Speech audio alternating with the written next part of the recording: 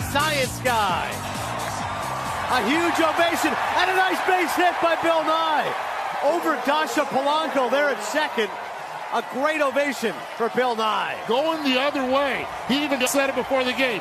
This is physics, baby. This is physics. You produce, people will stand. This is the loudest ovation of the night for Bill Nye, the science guy.